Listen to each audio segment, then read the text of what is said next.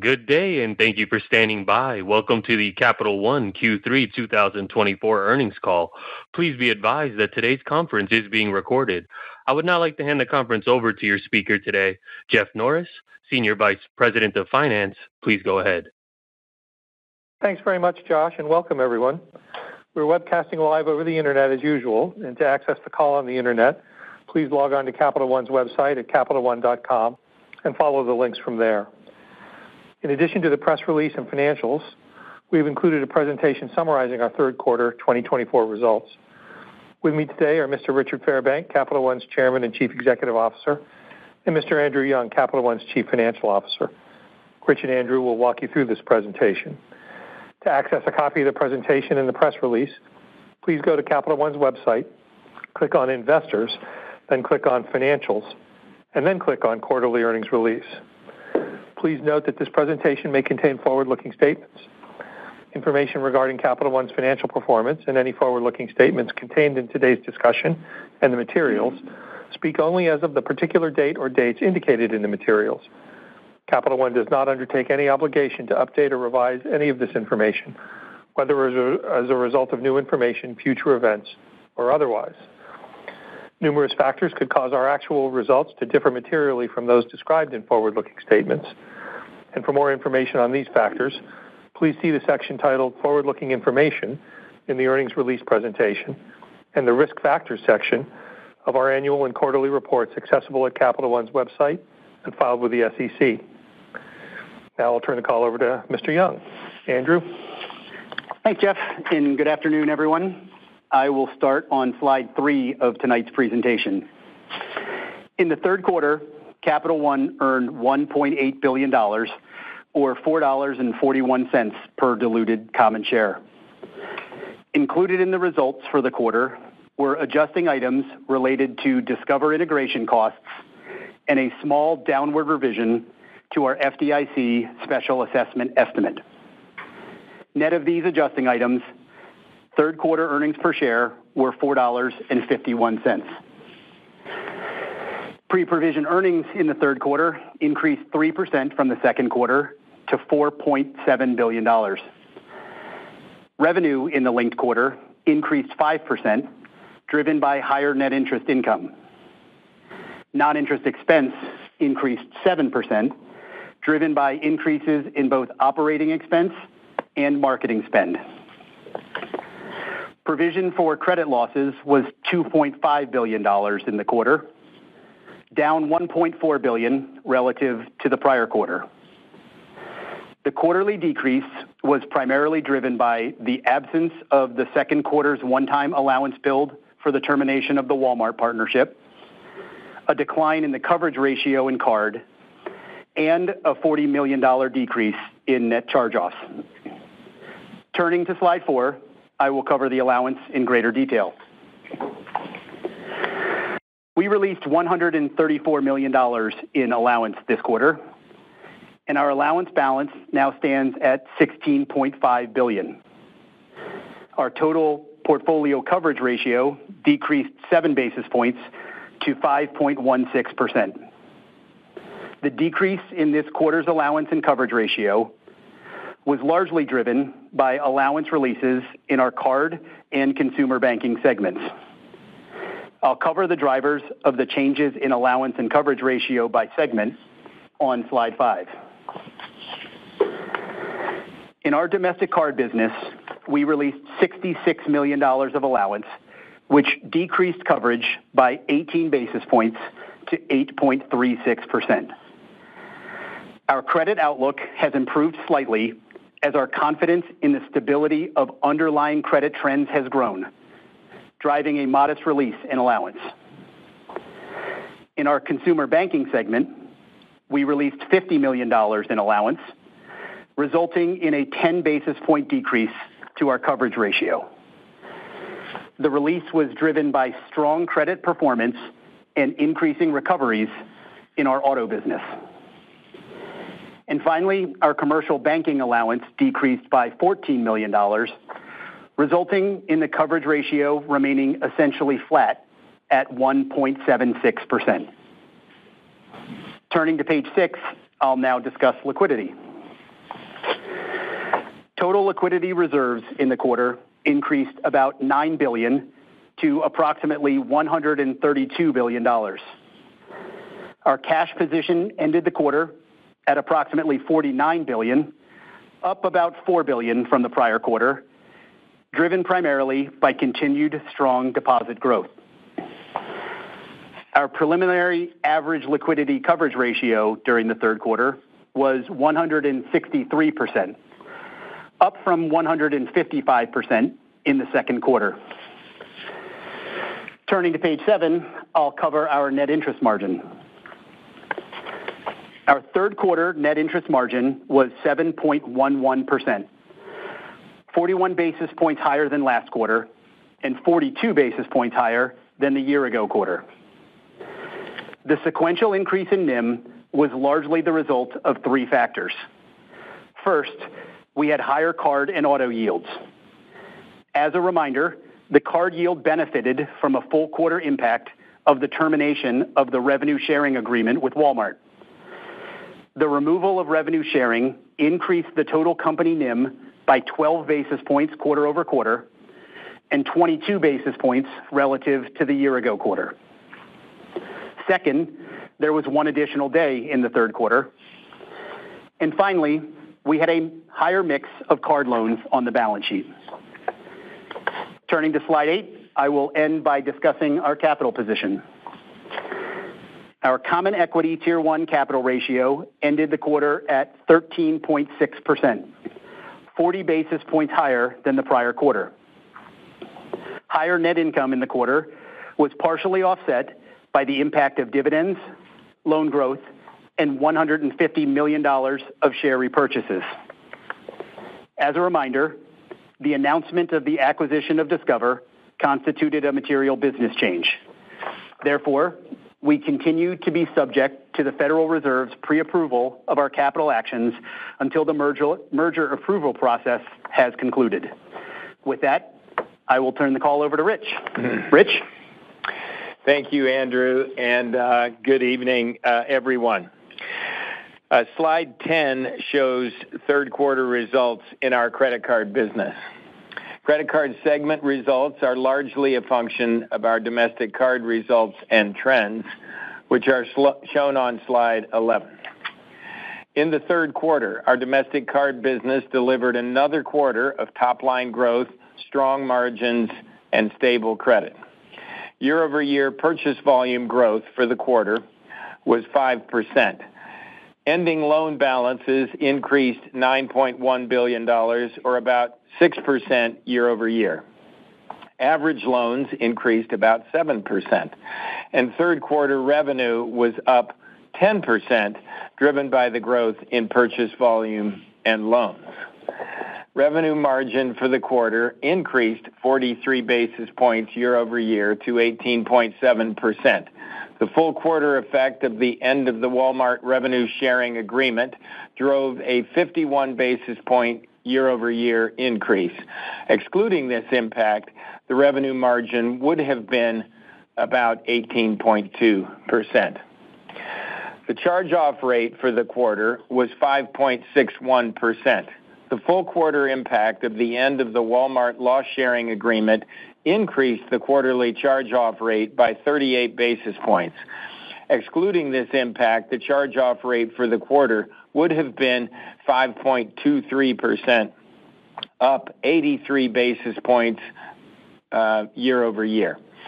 The 30-plus delinquency rate at quarter end was 4.53%, up 22 basis points from the prior year. As a reminder, the end of the Walmart loss sharing agreement did not have a meaningful impact on the delinquency rate.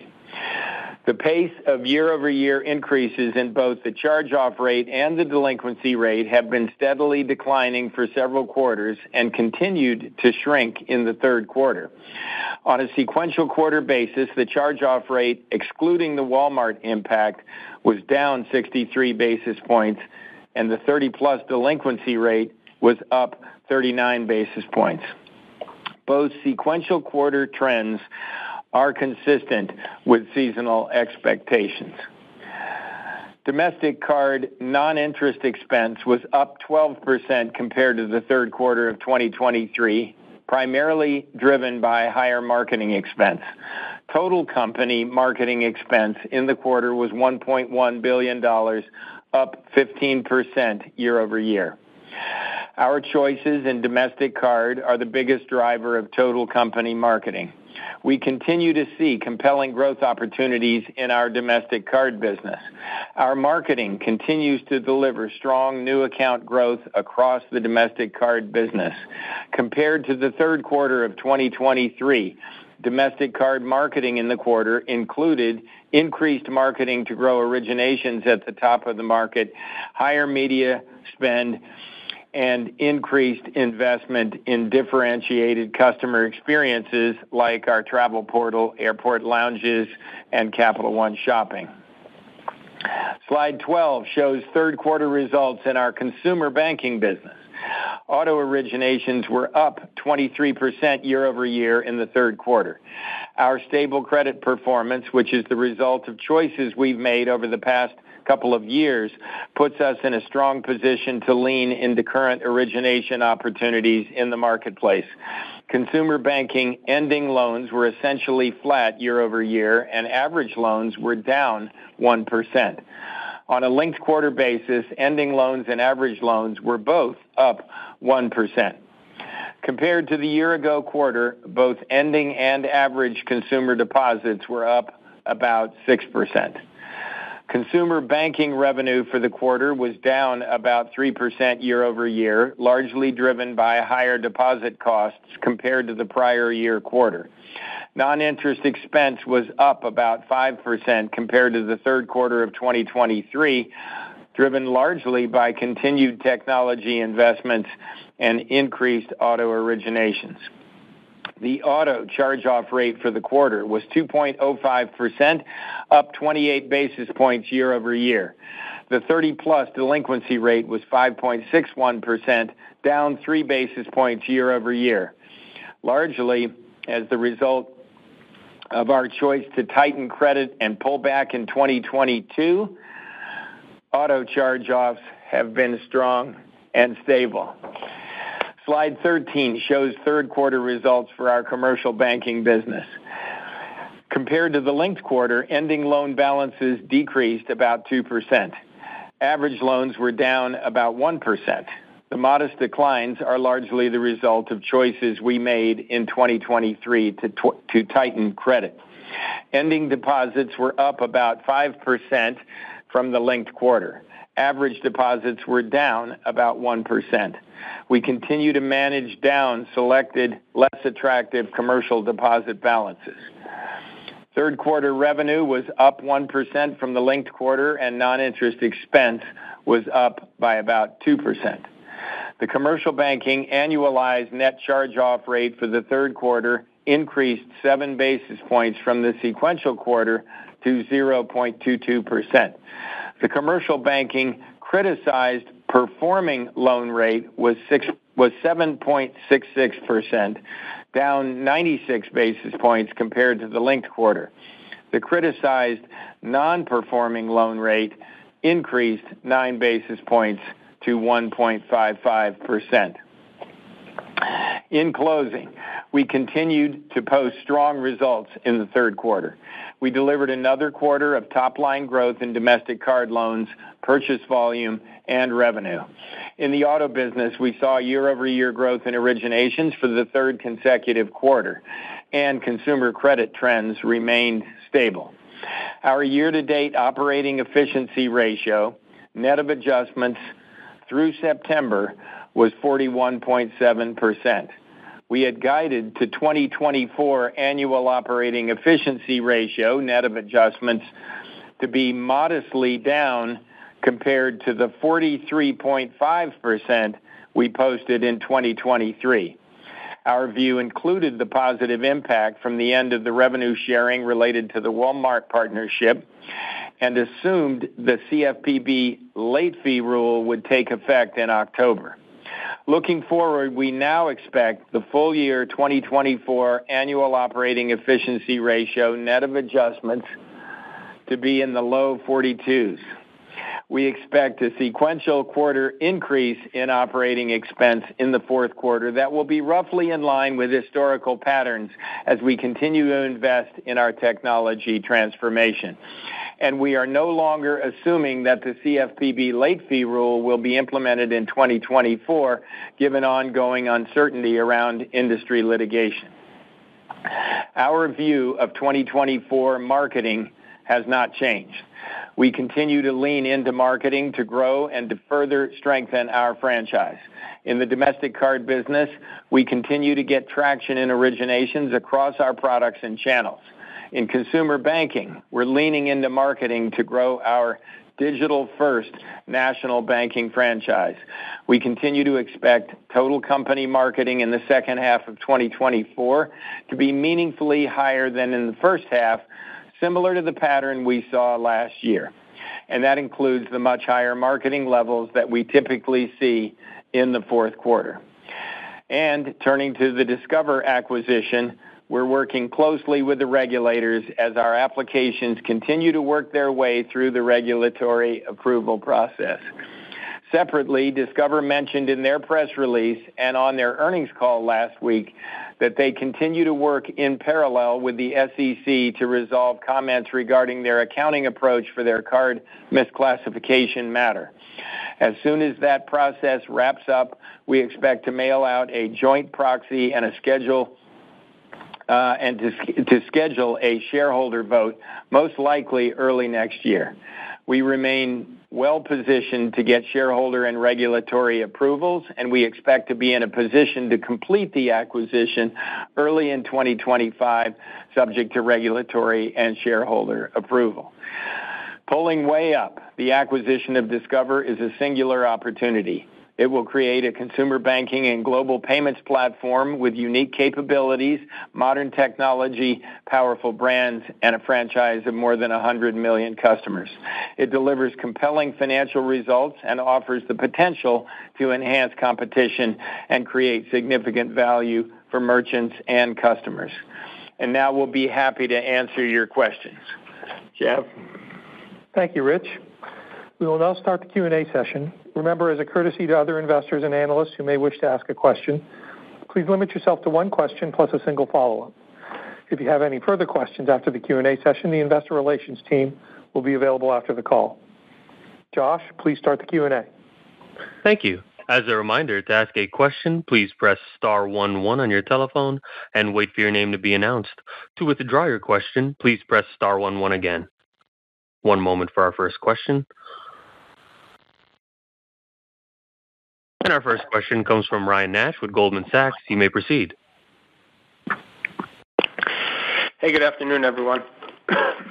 Hey, Ryan. Hey, Ryan. So, Rich, maybe to just start on credit, you know, you obviously have Uh, you can see lots of different parts of the consumer market, you know, high-end consumer, subprime, prime, private label, different parts of auto. And you guys seem to be bucking the trend with really solid credit results, so I think some others aren't. So maybe can you just talk about what you're seeing across uh, across consumer and some of these different cohorts, and and maybe what do you think it means for, you know, where losses could be headed in, you know, some of your main asset classes? Thanks. I have a follow-up. Okay. Yeah, thank you, Ryan. Um, So let me just pull up and just talk uh, first about the health of the consumer. You know, I think the U.S. consumer remains a source of relative strength in the overall economy. You know, think about this: the labor market remains strong. Uh, you know, we saw you know, we saw signs of softening in the first half of 2024, and the unemployment rate ticked up a bit. But the most recent data points on unemployment and job creation have actually shown renewed strength. Incomes are growing in real terms, and last month, we saw a significant upward revision of the savings rate. Consumer debt servicing burdens are stable relative to pre-pandemic levels, and consumers have higher average bank account balances than before the pandemic. Now, we see some pockets of pressure related to sort of the cumulative effects of inflation and elevated interest rates. And we are almost certainly still seeing a thing that you know we we've been uh, calling out uh, for years, uh, even really before it happened, saying we think it inevitably will happen, and but we won't fully be able to measure that. We won't be able to measure that along the way, but that is delayed charge-offs from the pandemic period. You know, we should remember that millions of consumers who would have charged off under normal circumstances in 2020 2021 and, and 2022, avoided defaulting thanks to unprecedented stimulus and forbearance. And these consumers were on the edge and they got a lifeline, but you know, for some of them their underlying vulnerability remains.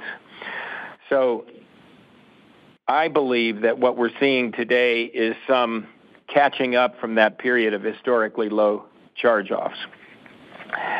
So I'd say consumers on the whole are in good shape compared to most historical benchmarks, but I do think there's some pockets of pressure that will persist until we fully work through this, um, you know, the, the, the, this cycle essentially of, of inflation and elevated interest rates.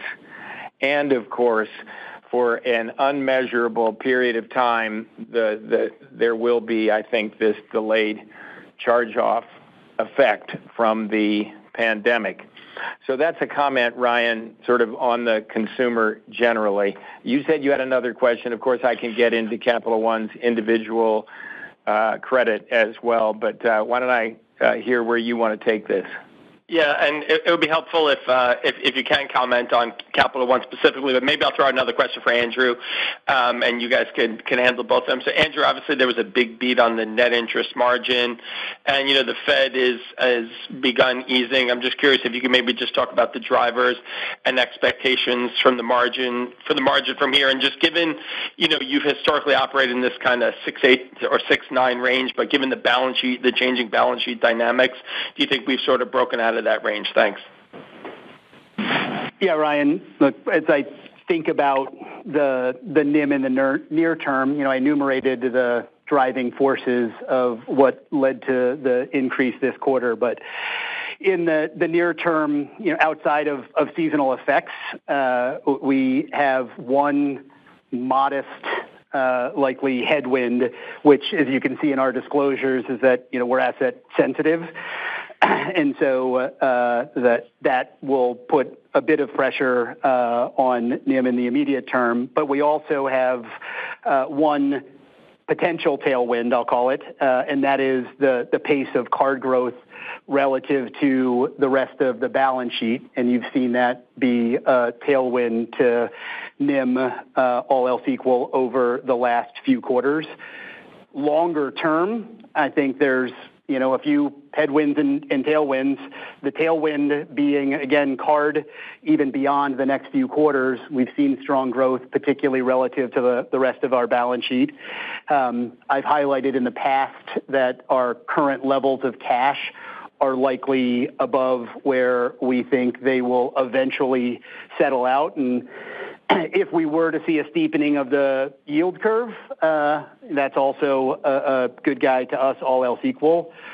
Uh, on the headwind side, I think there's a question of where betas go from here, and there's a possibility that they could be, you know, slower or lower, depending on a host of factors. Um, we could maintain cash levels for some period of time, at least, especially in light of the strong deposit growth we're we're seeing. And then always there's a little bit of a wild card of the path of of credit, right? And so if for some reason it stays elevated, the potential revenue suppression could be a headwind. But, you know, overall, I would say taking all of those factors into account, um, you've kind of seen the stability over the last few quarters prior to this one and a step up here in the third quarter. And so, you know, I'll let you kind of weigh all of the the headwinds and tailwinds that I just laid out for you. Thank you.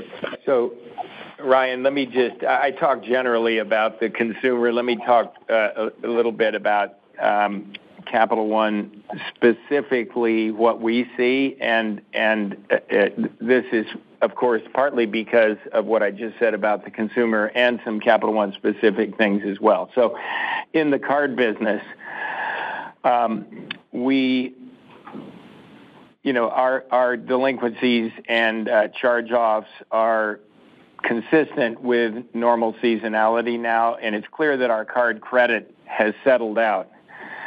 It's also clear that it's settled out above pre-pandemic levels. And sort of there's there's three main reasons for this.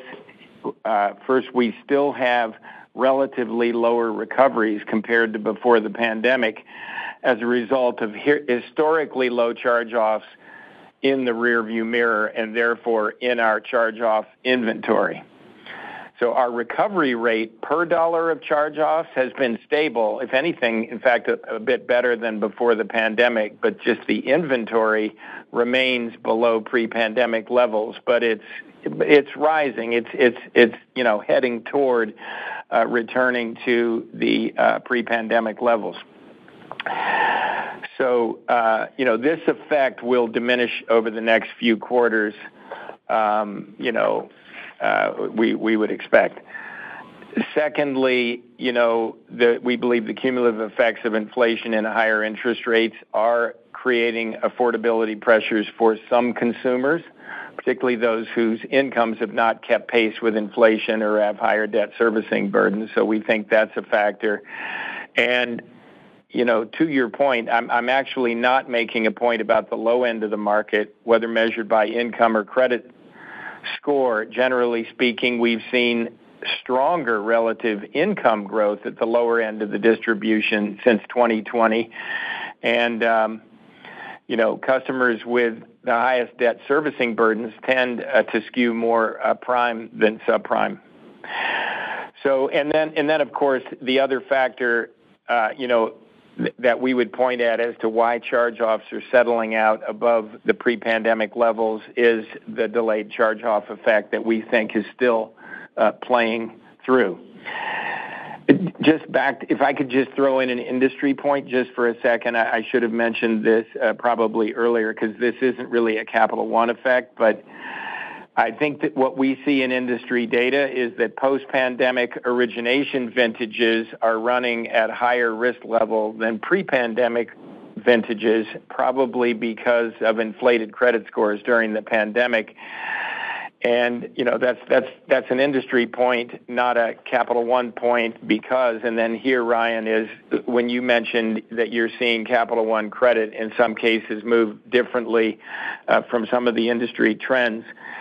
You know, at Capital One, we anticipated uh, these uh, effects, um, you know, related to some of the unusual things going on during the pandemic, and particularly the what we might say is the great inflation of credit scores.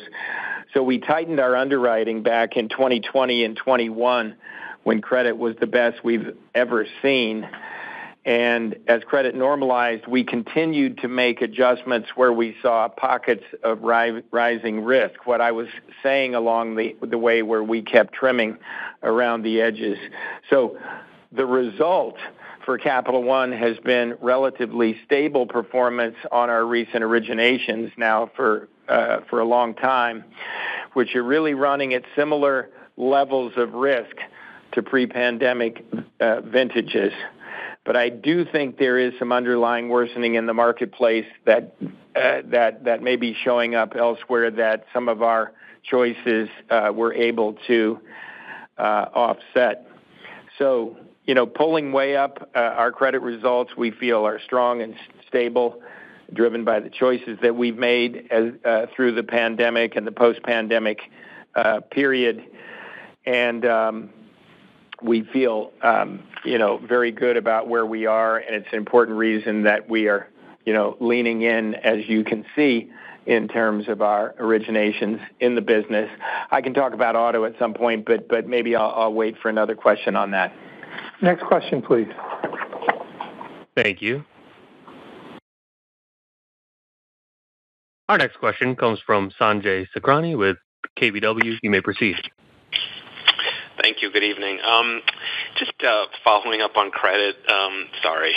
Just, Rich, you had mentioned, maybe it was last quarter or the quarter before, that we should start to see um, the credit, the delinquency improvements do better than seasonality. Uh and I guess it's stabilized at, you know, it's moving along with seasonality. Is is some of that related to the stuff you were just talking about, or do you still expect the improvement to be better than seasonality at some point? Uh, well, at some point, of course, um, you know, um, can be a long time. But uh, no, let me just say that I don't re I don't recall saying that we expected credit to be better than seasonality. I think what we have been saying over the last number of months, for a long time, we said credit is normalizing. We are on the absolute lookout for the very early signs of credit normalizing, which it should. Where exactly it will normalize, you know, who knows till we actually get there. And so way back to more than a year ago, um, uh, starting interestingly in the lower end of the market, we we um, were pointing out that we see the signs of credit stabilizing. Of course, uh, we all went down that uh, ski slope of second derivative, and that uh, continues to you know, to uh, be a strong effect. But these are all um, things, Sanjay, that are going on related to credit stabilizing. Um, and and We have not uh, we have not declared that that we think um, you know credit is in fact you know, headed down from here. At some point, uh, we can, in another question, you know, go through the potential um you know case uh, for that. Um, I want to say one other thing, though. You mentioned seasonality, and um, I put a marker down um, last quarter about a potential seasonality, a change in seasonality patterns, and I'd like to just kind of seize the moment and comment on this, because I think all of you that are watching uh, the credit patterns on a monthly basis, it's really important that we talk about the seasonality benchmark uh, to which to compare that. So let's talk for a moment about how seasonality works. Um, our portfolio, in fact, tends to have more pronounced seasonal patterns than the industry average. The second quarter tends to be the seasonal low point for delinquencies, and the fourth quarter tends to be the seasonal high point.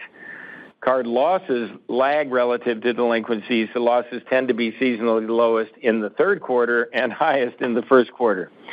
Now, we we have always thought, and still do, that tax refunds are a significant driver of these seasonal trends.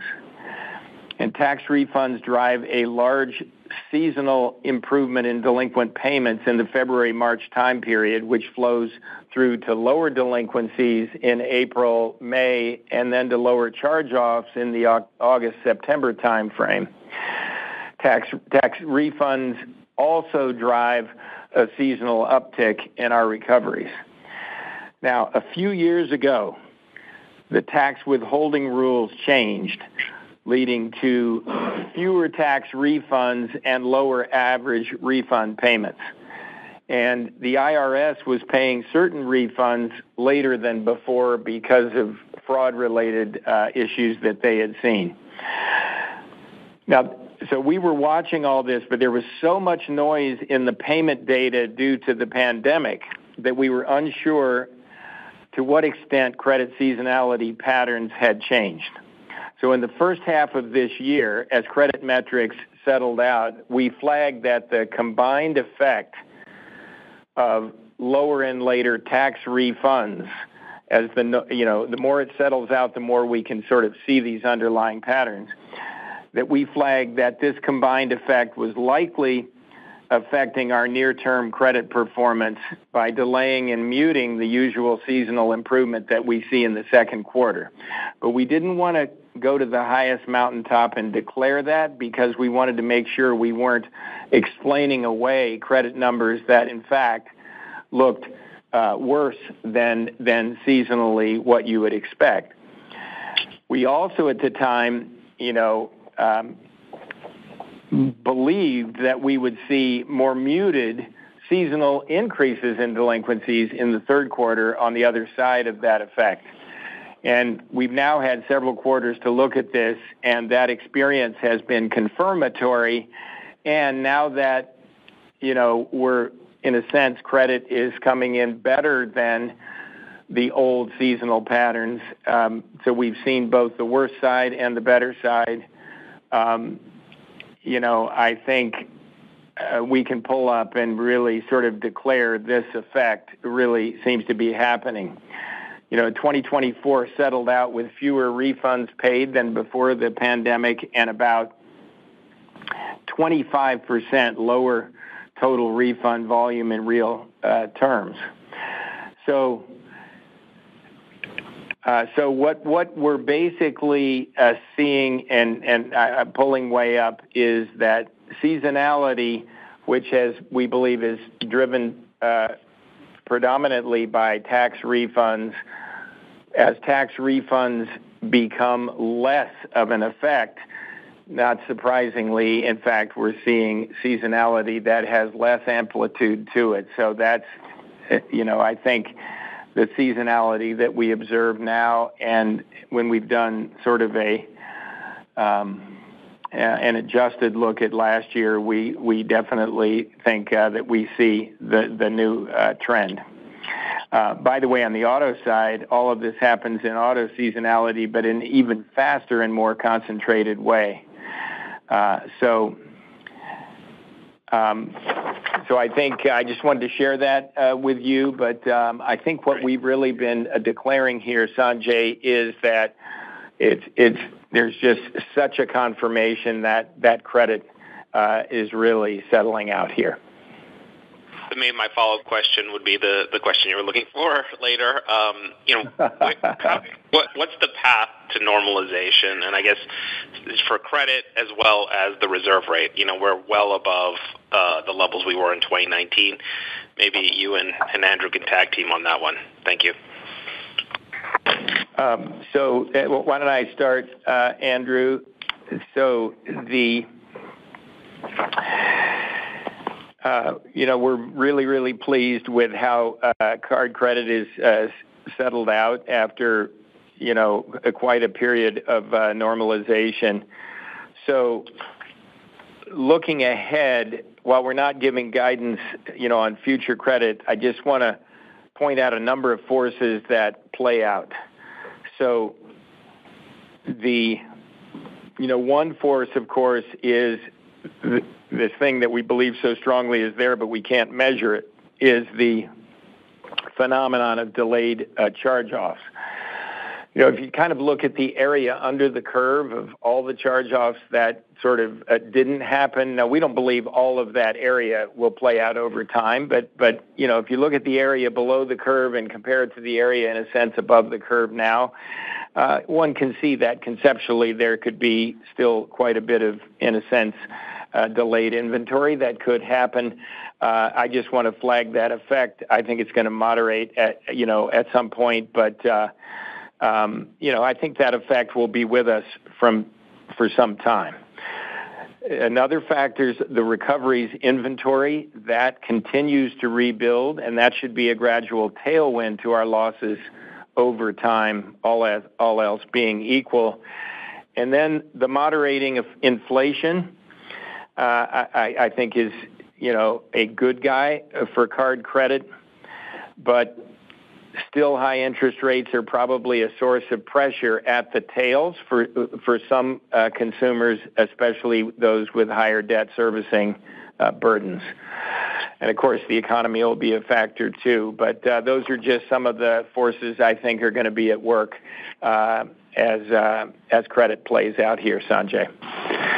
And then with respect to allowance, uh, Sanjay, obviously, we'll be allowing for growth. So that's the starting point on a dollar basis. I suspect you are more focused on coverage. So let me talk in coverage terms.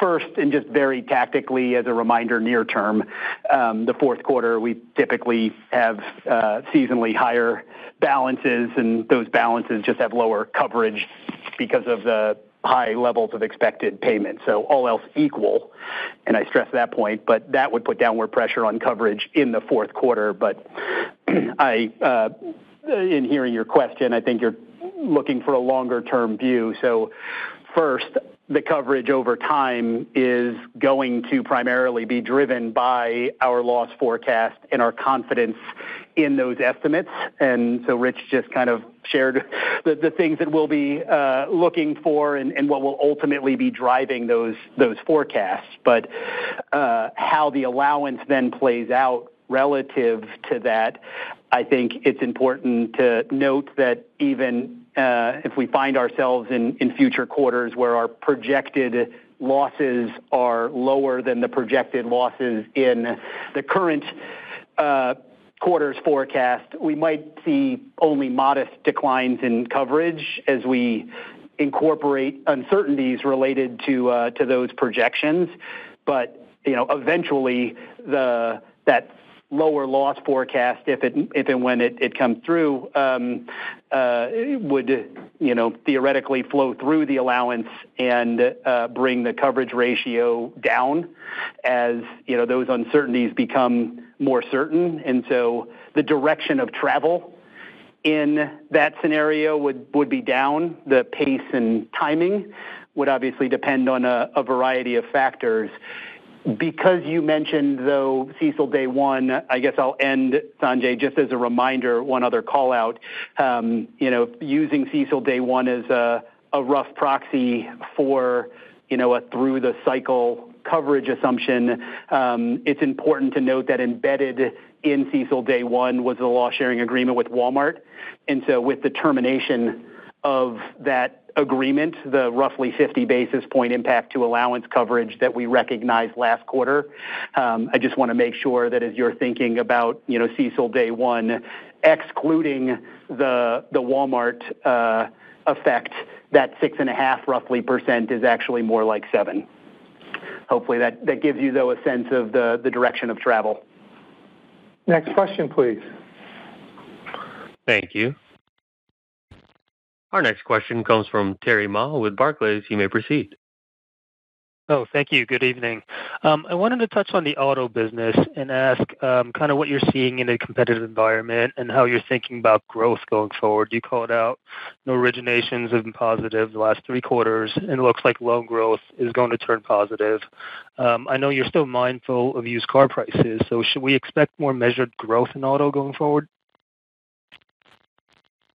So uh, yeah, thank you, Terry. Um, you know, our auto originations, uh, as you say, they've been uh they've been growing now. I guess it's uh, the last three quarters. Um, and as we stated in our prior calls, in 2022 and in early 2023, we had anticipated risk and pullback you know, on our originations. And even as the vehicle values have been declining, the credit performance on both our front book and our back book remains um, you know, uh, very strong. So additionally, just just talking about some industry factors, some of the headwinds that the industry has been facing with high interest rates and high vehicle prices are now easing as the interest rates have started to come down and vehicle values are down from their peak, although both of these remain higher than pre-pandemic levels. So interest margins uh, on our uh, also very important. Interest margins on our front book have increased, and credit has stabilized, and we're seeing opportunities to grow in a resilient way. So our strategy is to lean into areas that we like, and that is supported by our uh, very sophisticated underwriting and technology infrastructure, our data-driven decisioning, as well as deep uh, relationships with our dealer network. So looking ahead, we feel good about our auto business, and we feel we are well-positioned to grow in a disciplined way, targeting particularly what we think is the very resilient business. Great. Thank you.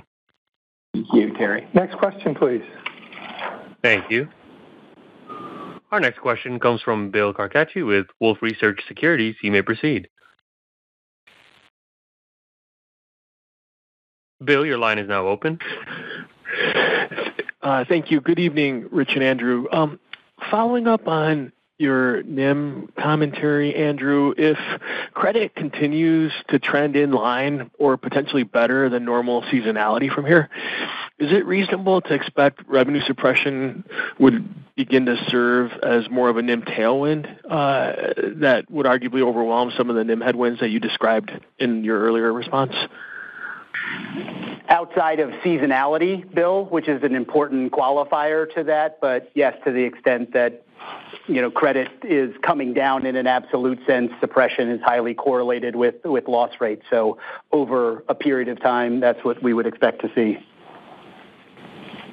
Thanks. And then uh, also another follow-up for you, Andrew, on your reserve commentary. In prior quarters, qualitative overlays, it seems, and please correct me if I'm wrong, it seems like it had the effect of preventing you from releasing reserves.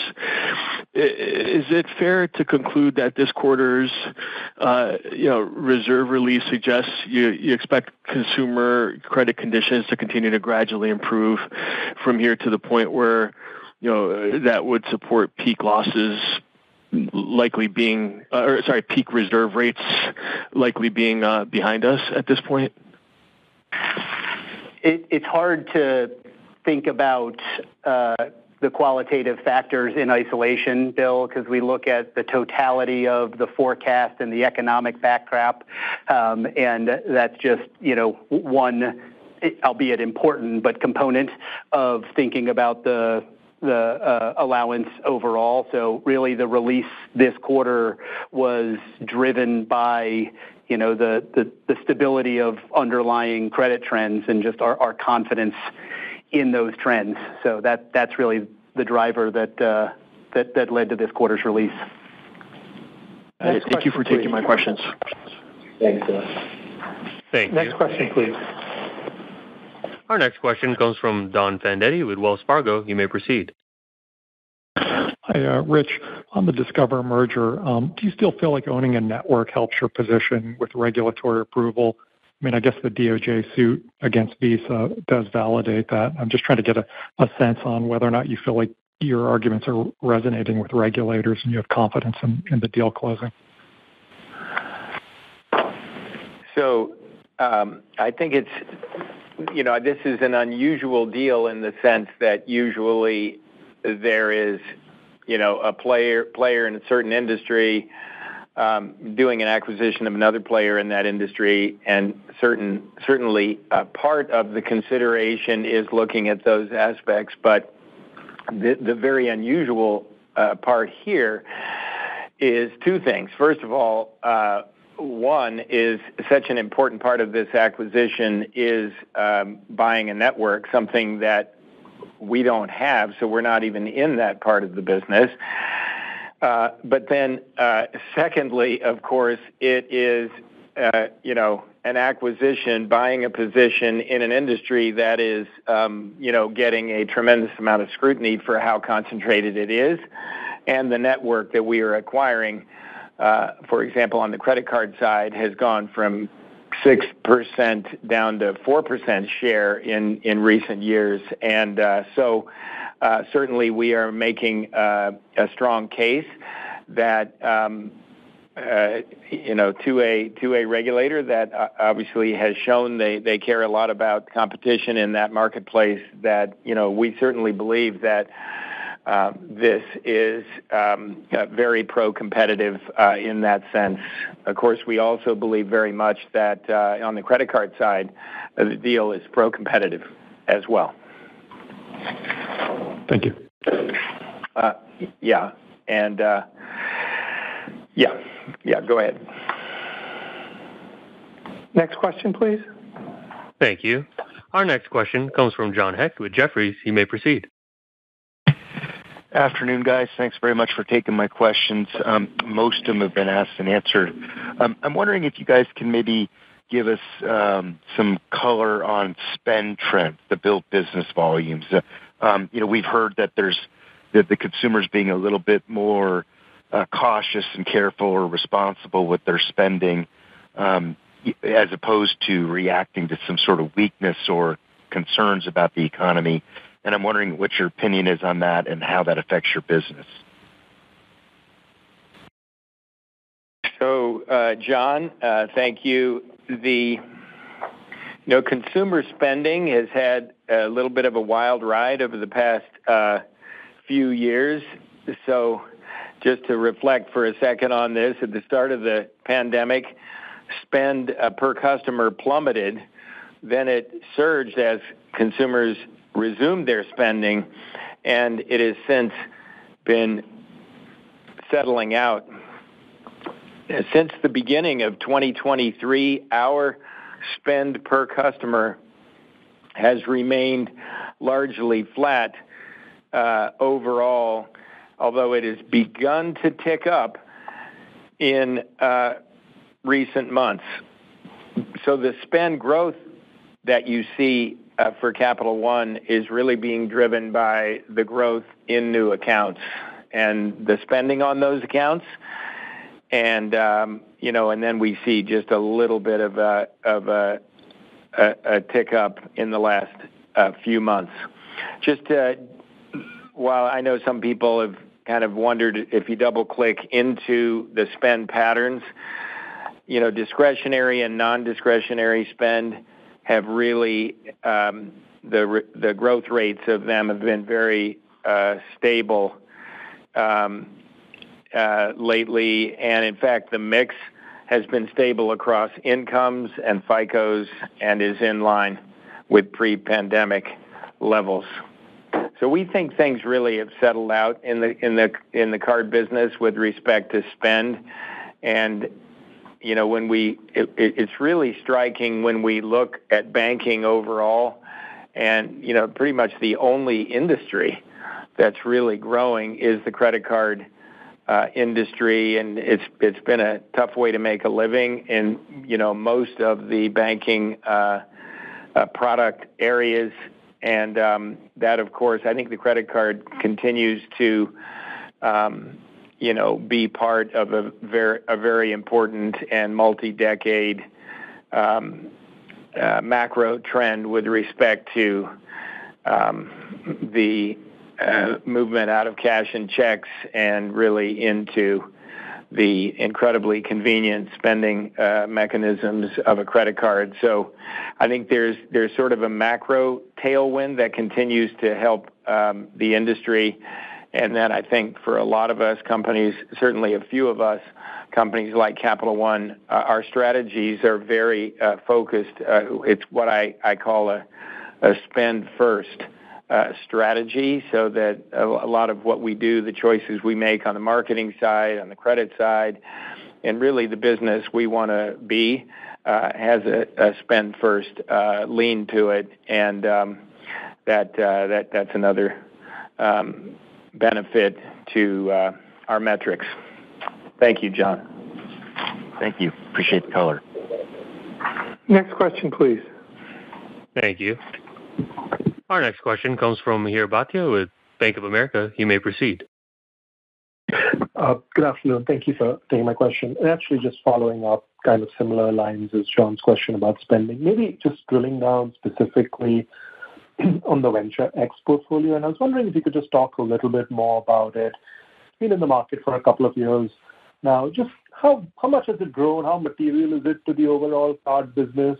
What are you seeing in terms of performance in that portfolio that's encouraging you to invest more in it? Or Just any additional details would be great. Thank you. Uh, thank you, um, Mihir. We launched our Venture X card Uh, in late 2021, and we're very pleased with the market response and the customer engagement uh, so far.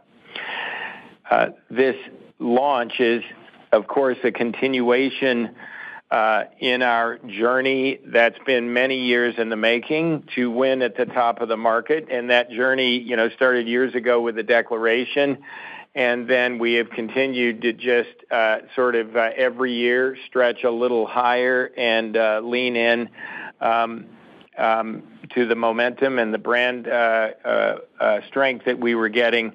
and our market position to be able to keep growing. So Venture X was a very important milestone in that journey. Um, and also, very important in that journey to win at the top of the market was the launch of our Capital One Travel Portal and the opening of Capital One Lounges, uh, as well as enhancements to our customers' you know overall experience more broadly. So and and uh, you, I'm sure you saw that actually in the third quarter of last year, we then launched the Venture X business card, and we're also pleased with the market response and customer engagement uh, so far uh, as well. So uh, I guess the way, while we don't give out the specific numbers on this, we continue to be very pleased with our quest to win at the top of the market, and both of these um, Venture X products are um, getting uh, a lot of uh, traction so far.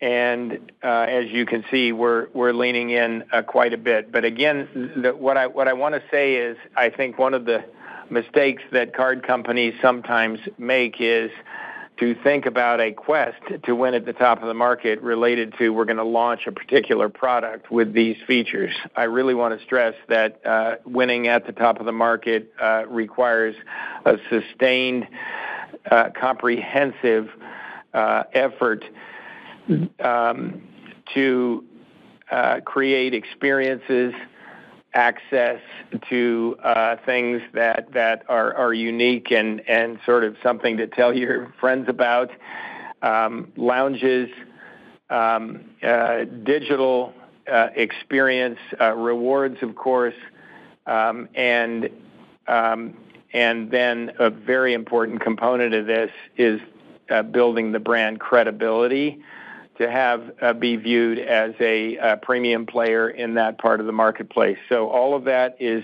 is uh, you know what we're investing in. You've, of course, seen um, you know quite an increase in our marketing, uh, eh, and a fair amount of that is in service of our continued quest at the top of the market. But I would leave this one observation with you as well, is that while you see the overall purchase volume growth rate Uh, for Capital One, um, when we when we break that data up by spend segment, basically the higher the spend segment, meaning the higher we reach up in the marketplace, the faster our growth rate is, which is a confirmation of the traction we're getting, but also not only in overall volume, but the traction that we're getting uh, reaching uh, farther up.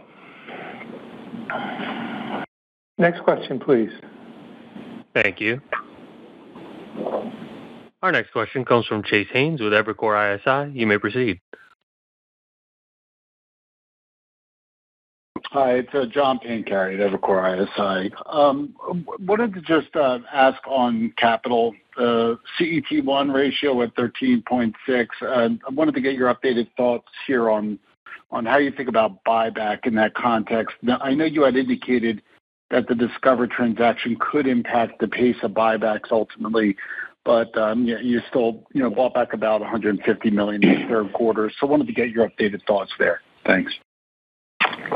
Yeah, John, look there's uh, a few forces at play that impact how we think about capital management. The first, of course, being the uncertainty around the Endgame rule. You know, the reproposal provided some high-level indications, uh, but the devil's in the details there, not to mention the uncertainty on implementation timing. Um, second, although it's been moderating, of course, you know, there still continues to be a degree of macroeconomic uncertainty. Uh, but last, and perhaps most importantly, we have the pending uh, Discover acquisition. And so post-close, we will need to run both our internal assessment of the needs of the combined company, but we'll also go through the Fed's CCAR process to come up with our view and the Fed's view of the combined uh, capital need, uh, combined company uh, entities capital need. Um, so those are the reasons why we're um you know operating at current levels and believe it's prudent to do so. Um, and we've been at this 150 million apace for a number of quarters. Um, once we are back under an SCB regime, you know, we'll, of course, have flexibility to return capital as uh, as we see appropriate. And you saw in late 2021 and early 2022, when we had excess capital, we were returning that at you know, something like 2.5 billion a quarter in in repurchases. So if we were to find ourselves in a similar position, you know, we understand that returning excess capital is an important part uh, of creating shareholder value, and you know we have the ability to do so quickly. But um, I go back to the forces at play of why we're operating where we are right now. Got it. Thank you, Andrew. If I could just ask one more. On the loan yield increase up about 58 basis points this quarter, uh, how much of that increase was the impact from Walmart for the full quarter? And was there any impact on the APR from any increase to the APR in response to the proposed CFPB late fee rule? Thanks. And John, I just want to make sure I understand your question of the yield uh, quarter-over-quarter, you're saying, or uh, like year-over-year yield on card? Yeah, year-over-year uh, yield in card is flat when you take uh, into account the effect of Walmart. Quarter-over-quarter, it's really just the seasonality effect. There's the partial quarter of Walmart, but yield is really uh, the seasonal effects and partial quarter of of Walmart uh, when you're comparing third quarter to the second quarter. Okay. And then. Okay. Thank you. Next question, please. Thank you. And our final question comes from the line of Jeff Adelson with Morgan Stanley. You may proceed. Hey, good evening. Thanks for taking my question. Um, just one from me to follow up on John's question there. Um, just on the late fee rule, I fully appreciate that things remain in flux at this point. Um, but could you give us an update in your latest thinking and how you're potentially preparing for that with any offsets or mitigating actions? Um, have any of those actions been taken yet? And you know, I get that you talked about taking a more mindful approach here. Um just just wanted to make sure that this is still the same approach you're taking or if there's anything else we should be uh, thinking about in our models here. Thank you. Uh, thank you, Jeff. So at this point, we're waiting for industry litigation to play out to see if and when the late fee rule goes into effect. And you know, we're not going to predict when that will happen. Uh, as we've said before, if the rule is implemented in its current form, it will have a significant impact on our revenue. But we also believe that the rule will have an impact on the marketplace, including competition, pricing, customer behavior, uh, volumes, credit. The reality is that we have spent decades painstakingly building a customer-first franchise with the fewest fees in the industry and extremely simple products. We believe that we've been rewarded for these choices with better growth, better attrition, and better credit selection. Ultimately, we will work backwards from what preserves our customer franchise, our customer loyalty, and credit resilience if the rule does go into effect. Uh, relative to anything that we've done so far, um, we uh, really the only thing we've done is we did defer a few investments in anticipation of this rule being implemented. If the ruling never happens, we will likely go ahead and make these investments over time. Thank you, Jeff.